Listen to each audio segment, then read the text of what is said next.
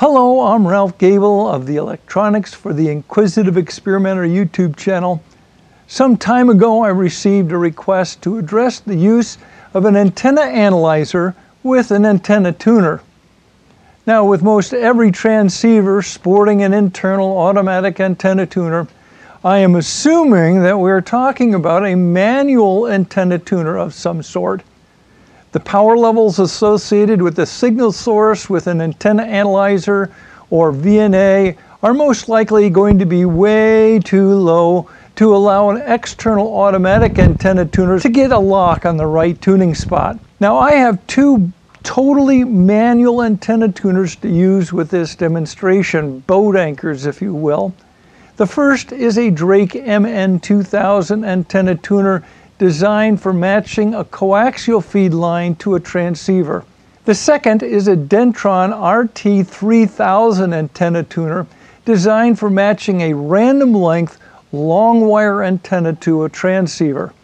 The two antenna tuners we will be looking at here are representative of the basic stuff you'll find out there so the procedure is probably going to be similar for your particular manual antenna tuner. With the advent of inexpensive VNAs like the Nano VNA and all of their cousins, I want to demonstrate the procedure not just with my MFJ 259C antenna analyzer, but also with a VNA so we can see what it might look like when you use one of these devices. But first, some important cautions. If there is the possibility of thunder or lightning storms in your area, postpone this process, disconnect all antennas, and ground all of your antennas. Failure to do so could prove to be fatal should lightning strike any active antennas that may exist. Second of all, before you connect your antenna analyzer or VNA to any antenna or antenna system, be sure to completely short out the antenna or antenna system to ground to ensure that all static has been dissipated. Failure to do this could cause the front end of your analyzer or VNA to get damaged due to static discharge from the antenna or the antenna system. Lastly, when the tuning procedure is complete, Completely disconnect your antenna analyzer or VNA from the antenna tuner. Bleed through power while transmitting even to an inactive or disabled port may be sufficient to damage the front end of your analyzer or VNA. Now, the first step in this whole process is to procure a copy of the manual for your particular antenna tuner if you can find one. You might find it convenient to turn off automatic power saving mode with the MFJ 259C so that it doesn't go to sleep while you're tuning your antenna. To do this, press and hold the mode button while turning on the antenna analyzer. When the copyright message appears on the display, release the mode button. The analyzer will now tell you that power saving mode is off and it will not go to sleep. But be careful, remember it will remain on forever or until the batteries die, whichever comes first. So don't forget to shut it off when you are done. All right, so now let's dive into the Drake MN2000 coax to coax antenna tuner. To begin with, we need to talk about procedure. What is the process we go through to use our antenna analyzer or VNA to match an antenna or antenna system to our radio using the Drake MN2000 matching network? First of all, we need to set the controls of the MN2000 to the initial settings. This means the reactive tuning needs to be set to 5, resistive tuning to 5, set the band switch to the desired band, and the input switch to the desired match position. Then we need to set up our measurement instrument. If you're using an antenna analyzer, set it to the desired frequency. If you're using a VNA, set the frequency limits to include the target frequency and calibrate the VNA at the end of the cable that you're going to use to connect to the antenna tuner. Now, before you do anything else at this point, you want to short the antenna or antenna system to ground to discharge any static buildup that may exist. This is to prevent a static discharge from damaging the front end of your analyzer or VNA. Now remove the short and connect the antenna or antenna system to the antenna tuner's antenna connection. Next, connect the antenna analyzer or VNA to the antenna tuner. Now we get to talk about the process of tuning the MN2000. The first step is to adjust the resistive tuning for a minimum SWR. Note this value. Then turn the reactive tuning control a small amount clockwise and go back and readjust the resistive tuning for a minimum SWR. Is the new SWR higher or lower than the SWR noted above? If the new SWR is higher, turn the reactive tuning control to a small amount counterclockwise of the center position and then readjust the resistive tuning for a minimum SWR. If the new SWR is lower, Continue the process adjusting the reactive tuning control in the clockwise direction. Work back and forth between the resistive tuning and reactive tuning controls until the desired SWR is reached. Completely disconnect the antenna analyzer or VNA from the antenna tuner and don't forget to shut it off. Connect your radio to the antenna tuner. You are now good to go. Now that we know the procedure, I'm going to go through the process first with my MFJ 259C antenna analyzer.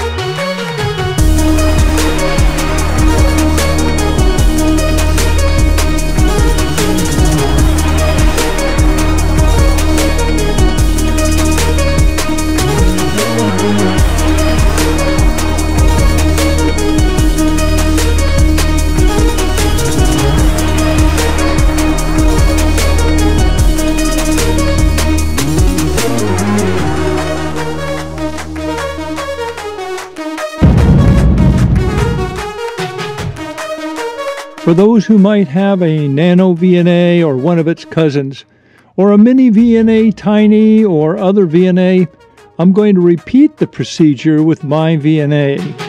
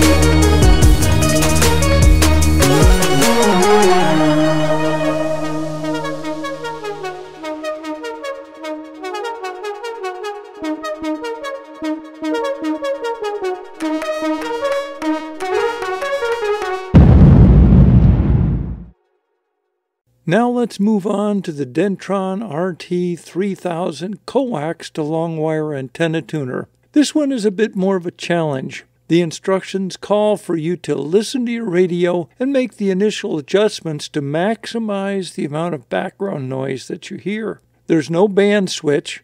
You have two variable capacitors, which are the transmitter and the antenna matching, and a roller inductor all fashioned into a pi network. Well, what am I doing when I adjust for the maximum background noise? I am doing the initial adjustment to minimize the SWR at the radio connector before actually transmitting any power to the antenna. So let's step through the tuning procedure. First of all, we need to set the controls of the RT3000 to their initial settings.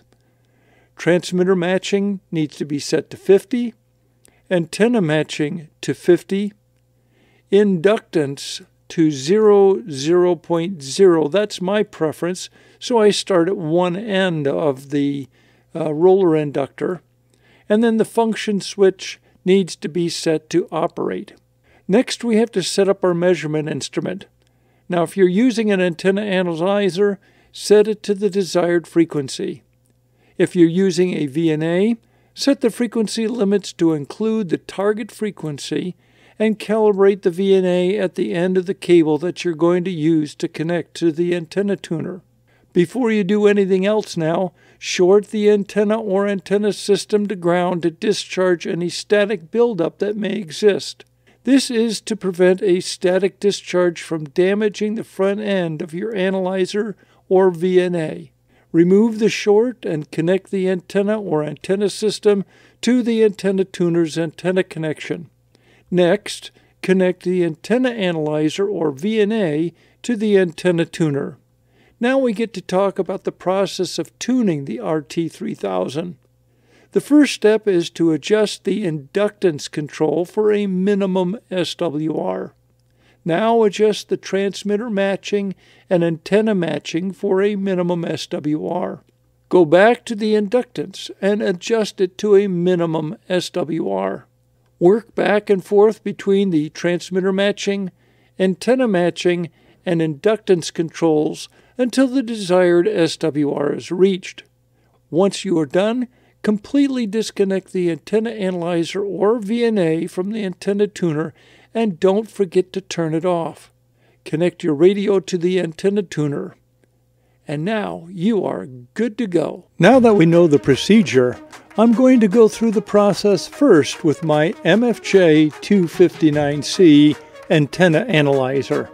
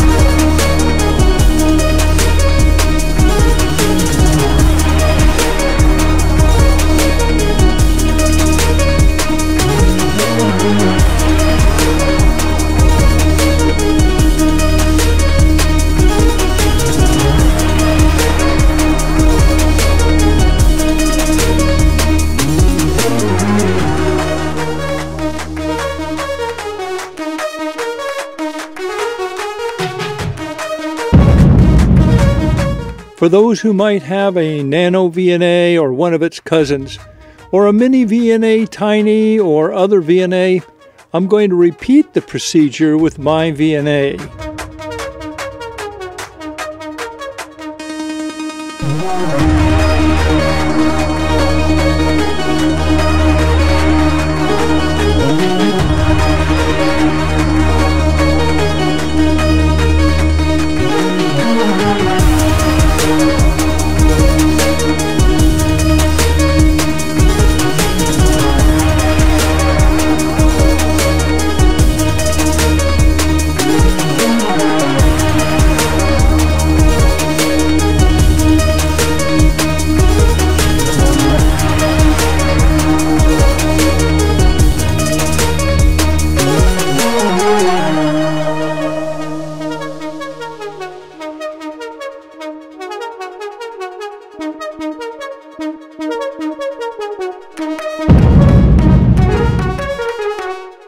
So there you have it. Using your antenna analyzer or VNA to tune your manual antenna tuner to a target frequency.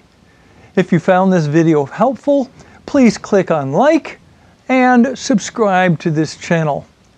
Until next time, thank you so much for watching. Toodaloots.